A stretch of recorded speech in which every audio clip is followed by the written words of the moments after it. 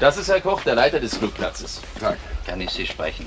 Aber selbstverständlich. Kommen Sie mit drauf, ich muss im Tower bleiben. Gerne, ja. Fang schon mal an, ja? Bitte. Guten Tag. Guten Tag.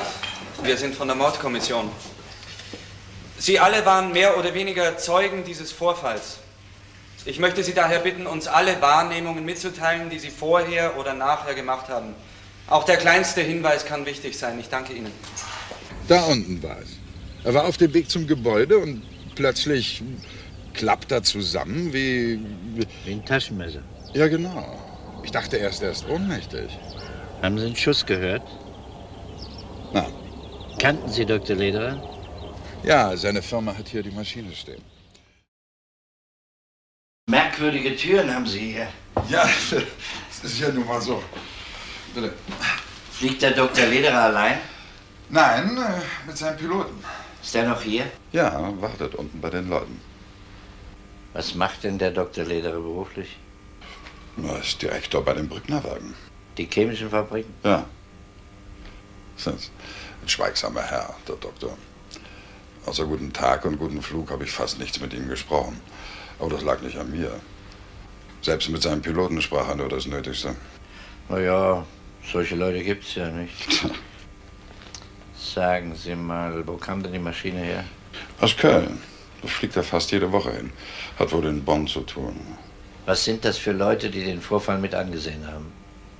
Na, Flugschüler, Fluglehrer. Einige haben ihre Maschinen da unten stehen.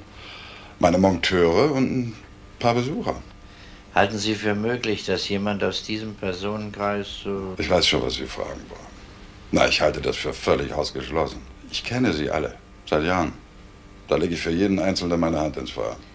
Also fest steht jedenfalls, dass jemand auf Dr. Lederer geschossen hat Hm. und dass dieser Schütze hier auf dem Fluggelände gewesen sein muss. Es ist ja nicht abgesperrt. Es kann ja jeder hier ran. Ja, das stimmt, aber wenn ich den kennen würde oder ihn gesehen hätte, glauben Sie, ich würde es Ihnen nicht sagen? Das ist doch klar, Herr Koch. Aber Sie müssen ihn ja nicht gesehen haben. Er kann ja mit Zielfernrohr geschossen haben, vom Wald aus. Und Sie waren ja hier oben am Tower. Entschuldigung. Tower? Ja, ich höre. Das ist Herr Langner, der Fahrer von Dr. Lederer. Tag. Er hat den Vorfall genau gesehen. Und das ist sein Pilot, Herr Koller. Tag. Erzählen Sie mal bitte. Ja, ich fuhr gerade vor, um Herrn Doktor einsteigen zu lassen, und da passierte es. Was passierte genau? Er riss plötzlich die Arme hoch, taumelte und fiel hin. Haben Sie vielleicht einen Schuss gehört? Nein, da war nichts zu hören, außer einer Maschine, die gerade startete. Haben Sie was gesehen oder gehört? Nein, ich habe die Maschine gerade gewendet, wollte zum Hangar. Und da sah ich die Leute auf den Doktor zurennen. Und der lag da schon am Boden.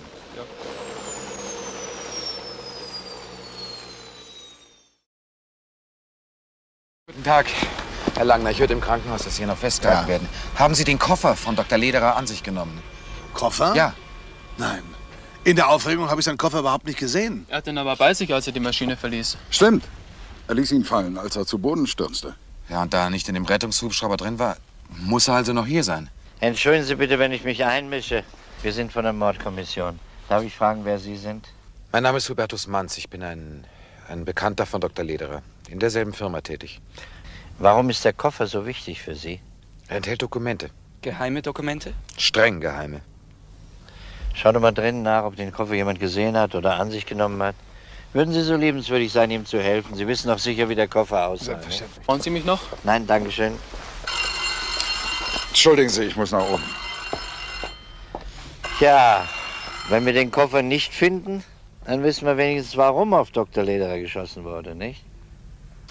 Der Einschuss lag vorne zwischen dem fünften und sechsten Zwischenwirbelraum. Der Ausschuss zertrümmerte die sechste Rippe hinten, knapp drei Finger von der Wirbelsäule entfernt, wobei der dazugehörige Quervorsatz mit abgerissen wurde. Es bestand eine Herzbeuteltamponade bei Verletzung des linken Vorhofes. Haben Sie das? Ja. Es wurden vier zerfetzte Lungensegmente resiziert. Die Verletzung des linken Vorhofes und des Perikards konnten ebenfalls primär versorgt werden.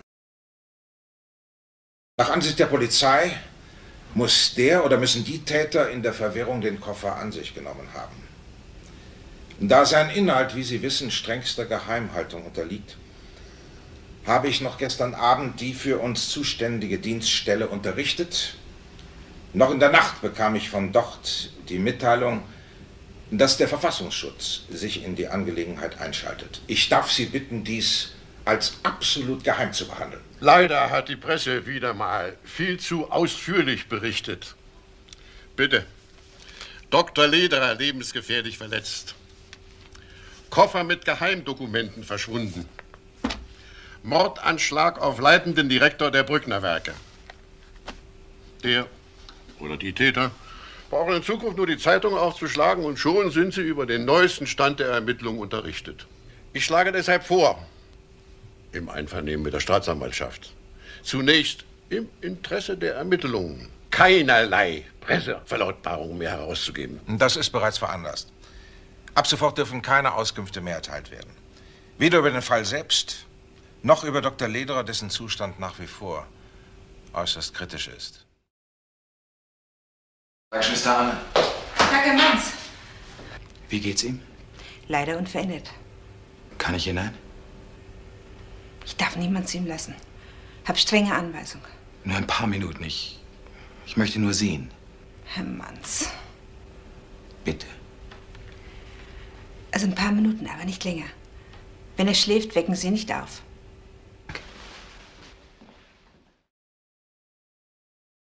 Schwester! Schwester! Vergisst! Kommen Sie, da ist was passiert. Ein Mann war hier drin. Ich habe gesehen, wie er weggerannt ist. Laufen Sie ins Stationszimmer. Schnell! Drücken Sie auf den Alarmknopf. Er ist am Schreibtisch. Ja.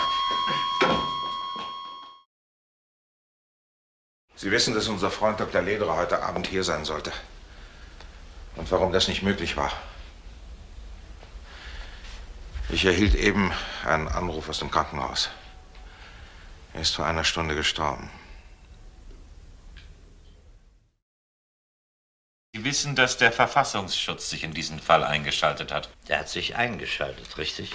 Das kann er, das darf er sogar. Mich stört das nicht. Ja, aber was heißt das für Sie? Ja, was es immer heißt, ich erfülle meinen dienstlichen Auftrag. Und wie, wenn ich fragen darf? Ja, ich suche den Täter und den Koffer. Der Verfassungsschutz soll die nachrichtendienstlichen Zusammenhänge klären. Entschuldigung, können Sie mal rüberkommen? Ich glaube, er hat jemand erkannt. Moment mal, wer hat jemanden erkannt? Herr Manz, der war mit meinen Kollegen unten beim Erkennungsdienst und hat die in Frage kommenden Fotos durchgesehen. Wie Sie hören, hat er anscheinend jemand erkannt. Ah, Ihr Tee, Herr Mellinger. Dankeschön, liebes Fräulein Fiedler. Boris Karloff, geboren 30.06.48 in Bukarest. Jetzt wohnhaft in München, Klenzestraße 6. Zeig mal her. Vorbestraft wegen Einbruch, Körperverletzung, Erpressung. Na ja, das ist doch ein ganz netter, schwerer Junge. Und Sie sind sicher, dass das der Mann aus dem Krankenhaus ist? Ja. Wenn ich mir den Bart wegdenke, mit Bestimmtheit. Möglich, dass er dann noch auf dem Flugplatz war. Vielleicht sogar geschossen hat. Oder den Koffer an sich genommen hat. Wenn es nur um den Koffer geht und um das, was drin war, warum bringt man den Mann dann am nächsten Tag noch restlos um? Sie sagten uns doch, dass Dr. Lederer leitender Direktor der Versuchsabteilung war. Also Geheimnisträger. Ja. Kann auch sein, dass er deshalb ausgeschaltet werden musste. Ich frage mich, durch wen hat der Kerl erfahren, in welchem Krankenhaus, auf welcher Station und in welchem Zimmer der Dr. Lederer lag. Vielleicht ist in seiner Firma eine undichte Stelle. Nein, das kann ich mir nicht vorstellen. All denen der Aufenthalt von Dr. Lederer bekannt war, sind zu strengstem Stillschweigen verpflichtet worden. Geht mich zwar nichts an, aber es interessiert mich. Warum wollte er gerade, dass Sie den Koffer an sich nehmen? Warum gerade Sie?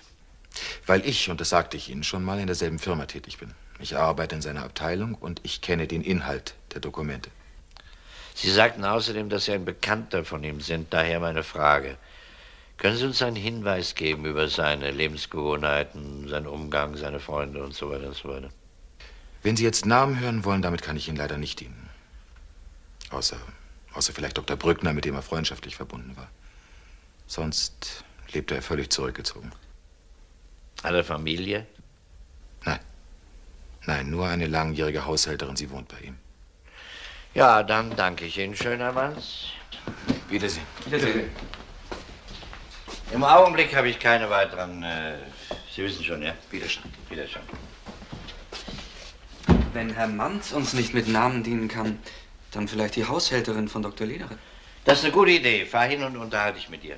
Und du gehst in die Glänzestraße, nimm dir einen Durchsuchungsbefehl mit und wenn der Vogel zu Hause ist, dann bringst du ihn her. Aber nimm dir einen Kollegen mit. Der könnte Schwierigkeiten machen. Mama ist nicht da. Natürlich bin ich da. Du sollst nicht immer lügen, Charlie. Ja, bitte. Sind Sie Frau Karloff? Ja. Kriminalpolizei. Dürfen wir mal reinkommen? Ja, bitte.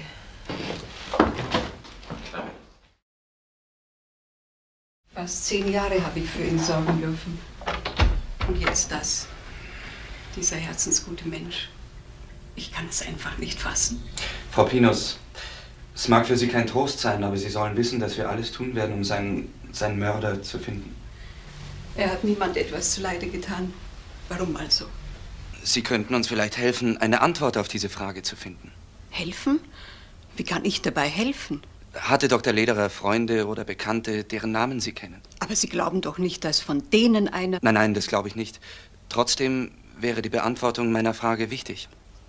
Der Doktor hatte meist nur Besuche, die beruflicher Art waren.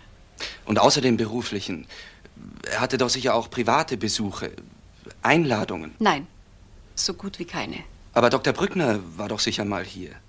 Sie kennen ihn? Nein, wir wissen nur, dass er über seine berufliche Bindung hinaus mit Dr. Lederer befreundet war.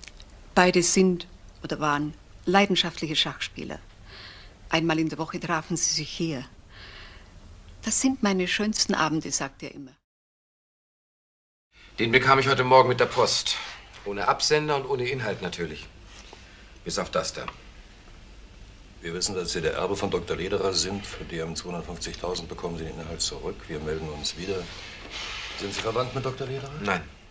Woher wissen die dann, dass Sie sein Erbe sind? Das weiß ich nicht. Kann er mit jemand darüber gesprochen haben?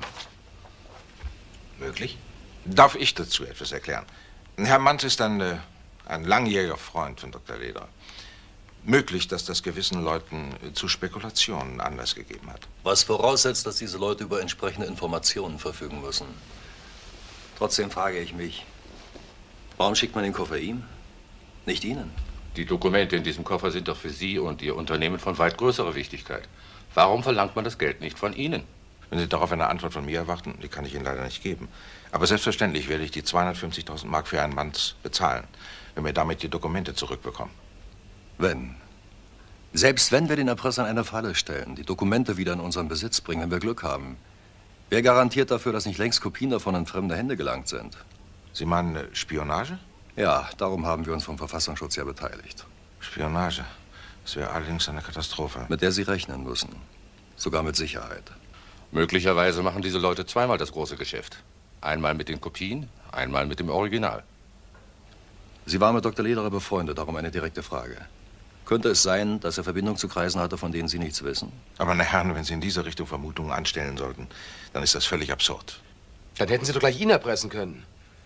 Ohne ihn noch umzubringen. Eben. Aber das haben Sie nicht. Sie werden erpresst.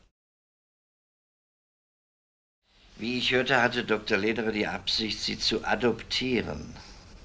Es kam aber nicht dazu, weil sich gewisse Schwierigkeiten herausstellten. Frau Pinus wollte uns darüber nichts sagen. Würden Sie es tun? Nein. Sie sagen das so ablehnend. So ist es. Das ist doch wohl auch eine Privatangelegenheit von Herrn Manz. Was hat das mit dem Fall zu tun? Herr Doktor, solange ich auf meine Frage keine Antwort bekomme, hat es mit dem Fall zu tun. Das, das hier hat mit dem Fall zu tun. Der Koffer von Dr. Lederer und dieser Erpresserbrief. Wann haben Sie das bekommen? Ich habe es bekommen. Heute, morgen. Mit dem Koffer. Leer natürlich. Und jetzt frage ich Sie nach einer Antwort. Wer erpresst mich? Das weiß ich nicht. Vielleicht der Mann aus dem Krankenhaus? Haben Sie den schon gefasst? Noch nicht, aber die Fahndung läuft. Ich würde vorschlagen, dass ich das mal mitnehme. Vielleicht sind außer unseren Fingerabdrücken auch noch andere drauf. Und dann würde ich sagen, dass wir in Ihrer Wohnung an Ihrem Telefon eine Fangschaltung installieren, wenn Sie einverstanden sind. Selbstverständlich. Und vergessen Sie nicht, Herr Manz, Sie sind mir noch eine Antwort schuldig. Wir haben ihn. Wer hat wen? Boris Karloff. Sie bringen ihn hierher. Wenn er sich einmal was vornimmt. Verschieb's auf morgen. Was reden Sie da von Anschlag und Krankenhaus? Ich war in keinem Krankenhaus. Ich kenne auch keinen Dr. Lederer, nie gesehen. Sie haben ihn gesehen. Das müssen Sie mir erstmal beweisen. Stellen Sie mich dem Mann doch gegenüber. Sie wissen genau, dass das nicht mehr möglich ist. Dass eine Leiche nicht mehr reden kann. Leiche? Was fasselt er da? Was will er mir anhängen? Einen Mord. Hören Sie zu. Ich hab das satt, mich von Ihnen anlügen zu lassen. Ich werde Ihnen beweisen, dass Sie im Krankenhaus waren und dass Sie den Tod von Dr. Lederer verursacht haben. Führen Sie ihn ab.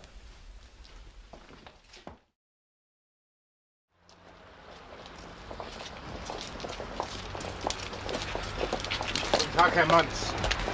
Wäre es Ihnen möglich, mit mir zu kommen? Herr Köster erwartet Sie in seinem Büro. Muss das jetzt sein?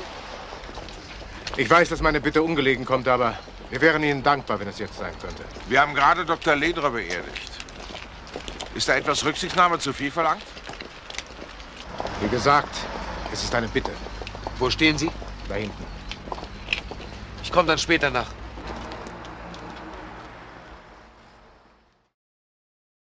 Ist das der Mann? Erkennen Sie ihn wieder?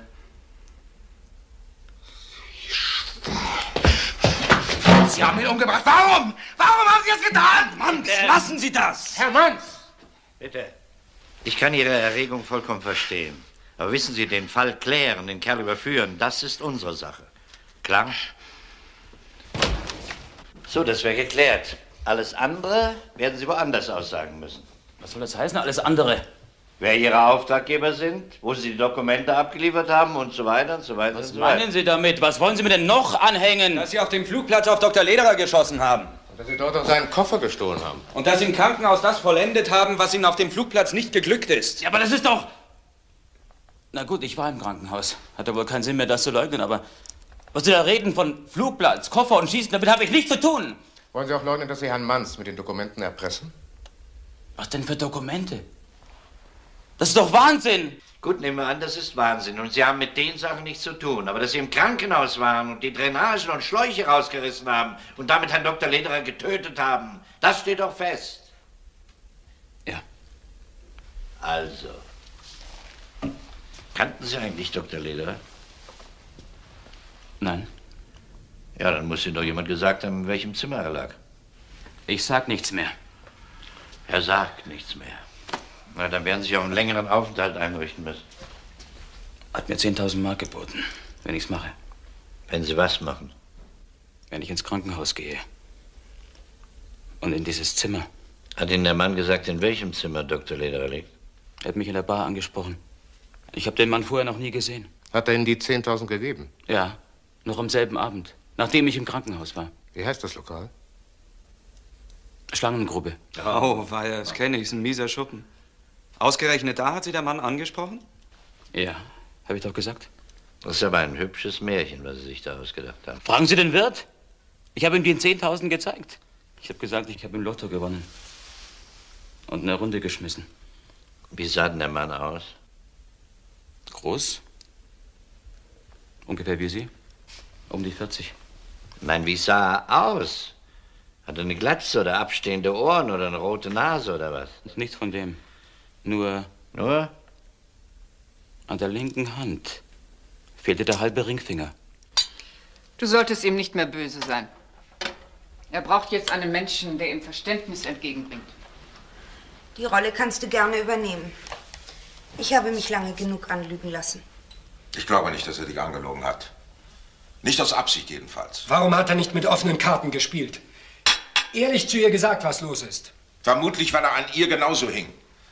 Vielleicht auch aus Angst, dich zu verlieren. Aber das ist doch keine Entschuldigung. Ja, gewiss, ich weiß. Ich suche ja nur nach einer Erklärung für sein Verhalten. Eine offene Aussprache. So, so sehr sie mich enttäuscht hätte, wäre mir auch lieber gewesen. Und warum hat er das nicht getan? Warum musste ich ihn erst zur Rede stellen? Wohl aus der Befürchtung heraus, dass so ein Gespräch nicht unter Beteiligten bleibt. Dass es Kreise zieht. Was es auch getan hat. Und aus Rücksicht zu dem geliebten Freund. Das hast du vergessen. Sicher auch das. Darum hat er wohl von sich aus nicht darüber gesprochen. Das war falsch, aber in seiner Situation vielleicht verständlich. Warum versuchst du nur ihn zu verstehen? Warum nicht mich? Aber Christa, wir verstehen dich doch. Verstehen, dass du gekränkt warst. Mit Recht gekränkt warst. Ich bin es noch. Auch das verstehe ich. Nur den Grund deines Gekränktseins, den gibt es ja nun nicht mehr. Soll ich dir sagen, was ich bei der Beerdigung empfunden habe? Befriedigung. Nichts als Befriedigung. Und dabei liebt er dich. Nach wie vor nur dich. Ich weiß es, trotz allem. Aber ich ihn nicht mehr. Und was heißt hier trotz allem? Was hättest du denn damals an meiner Stelle gemacht? Ich glaube nicht, dass ich ihm unter Zeugen mit einem Skandal gedroht hätte. Wie du weißt, war das für uns alle sehr unerfreulich. Und was hast du damit schon erreicht? Dass die Adoption geplatzt ist. Das hat sie jedenfalls damit erreicht. Und? War es das wert? Das geht dich nichts an. Ich hasse ihn. Hast du ihn jemals geliebt, wenn du so hassen kannst? Sprich bitte nicht in diesem Gouvernantenton mit mir. Du bist nicht meine Mutter. Aber es ist meine Frau. Ich verbiete dir so mit Laura zu reden. Ja, bitte. Entschuldigung, es ist 20 Uhr. Ich sollte voll am Brücken in die Stadt fahren. Ich komme mit. Wir hätten nicht davon anfangen sollen. Na, Laura, die beiden haben doch davon angefangen. Wollten wissen, warum die Polizei ihn so dringend gebeten hat, mitzukommen. Das wissen wir doch auch nicht. Ja, eben, genau das habe ich ja gesagt, wenn du dich erinnerst. Ob du mal da anrufst? Er wollte doch noch vorbeikommen. Aber Laura, was soll ich denn sagen?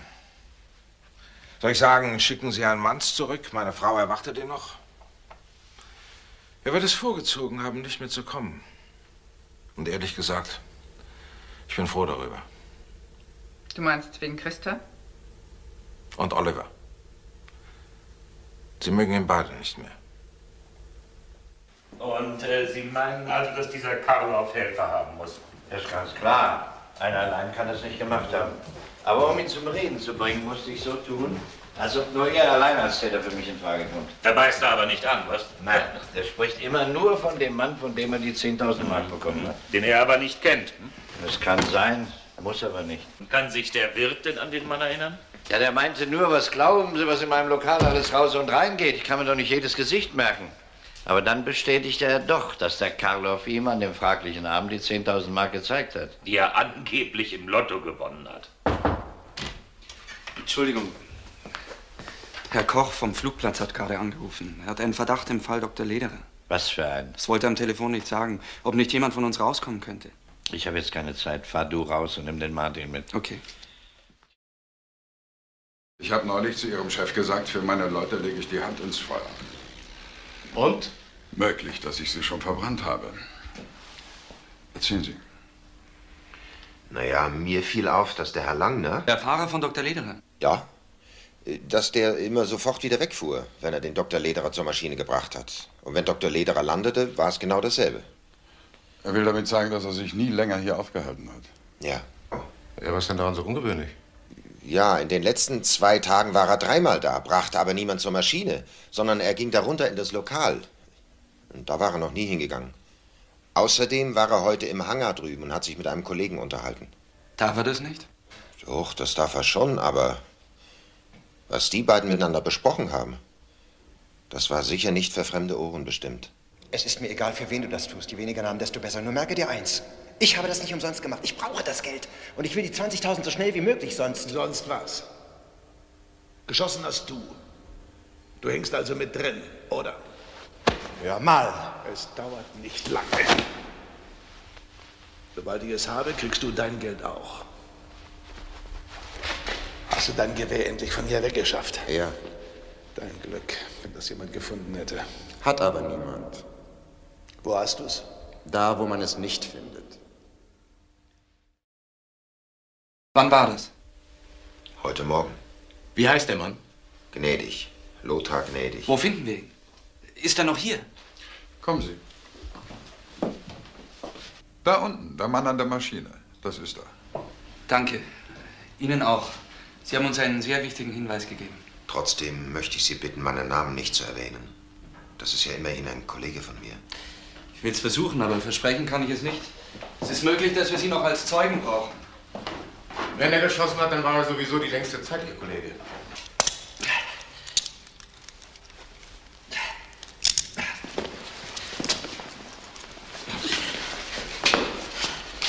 Na, was habe ich Ihnen gesagt?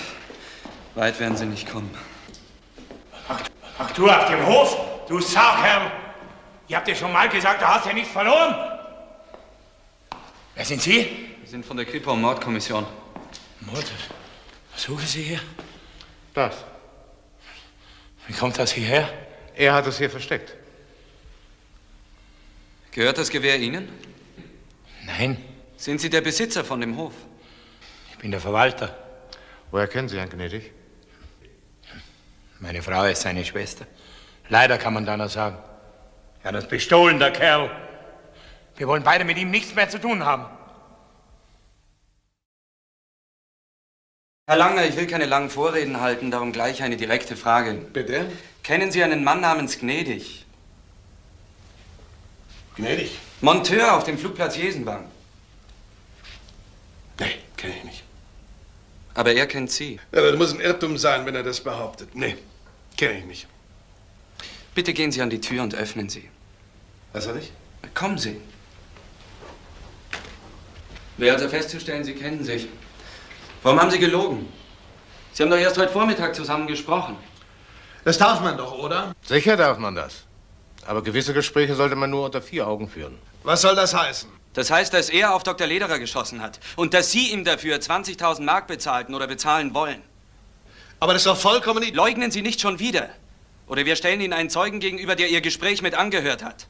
Das lasse ich mir nicht bieten. Ich werde mir einen Anwalt nehmen. Das ist Ihr gutes Recht, aber erstmal kommen Sie mit. Alle beide. Für welchen Geheimdienst arbeiten Sie eigentlich? Was? Na, Sie haben doch den Mann in das Krankenhaus geschickt. Sie wussten doch genau, in welchem Zimmer Dr. Lederer lag. Dafür hat er von Ihnen 10.000 Mark bekommen, in Bar. Oder vergessen Sie so kleine Beträge? Wer hat von mir 10.000 Mark bekommen? Wie soll denn der Mann heißen? Es spielt jetzt gar keine Rolle. Ich sage nur ein Wort Schlangengrube. Da haben Sie ihn getroffen. Außerdem hat er Sie exakt beschrieben. An Ihrer linken Hand fehlt der halbe Ringfinger. Hat Dr. Lederer von Ihrer Tätigkeit vielleicht gewusst? Oder geahnt? Was denn für eine Tätigkeit? Na, danach habe ich Sie ja gerade gefragt. Aber ich habe... zusammenarbeiten. Den Mann aus dem Krankenhaus kennen wir, gnädig auch. Also mit wem noch? Sie lagen in seiner Wohnung. Unterm Teppich. Für einen Profi ein selten dämliches Versteck. Sind das die Dokumente aus dem Koffer, den Sie am Flugplatz an sich genommen haben? Und den Sie gemeinsam mit dem Erpresserbrief an Herrn Manz geschickt haben? Also hören Sie zu, mein Lieber, Ihnen kann nur eins helfen, die volle Wahrheit. Also gut, dann führt ihn weg. Möchte ich Herrn gnädig sehen. Das BKA hat schon zweimal versucht, Sie zu erreichen. Ich habe das Gespräch hierher legen lassen. Ist da kein Irrtum möglich? Wann war das? 6.1.79. Und wo? In Berlin. Moment, Moment, wie heißt das Lokal? Bar hier. Bar hier mit B. Was sagen Sie dazu? Herr Gnädig bleibt in Haft. Martin, du fährst mit deinem Kollegen hinter mir her. Und Gerd, du holst deinen Lander und ihr kommt mit mir.